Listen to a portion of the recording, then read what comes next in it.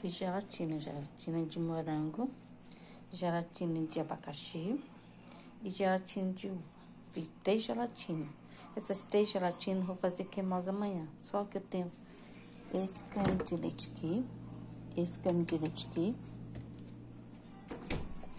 E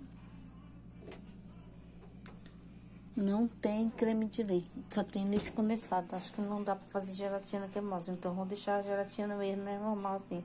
Aí fiz gelatina de morango, gelatina de abacaxi e gelatina de uva. Três gelatinas. Quem gostou, deixa o like até o próximo vídeo.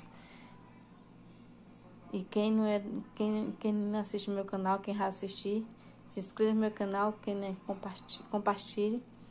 Inscreva no meu canal, assine o sininho para receber vídeo novo. E até o próximo vídeo. Fiz gelatina de sobremesa.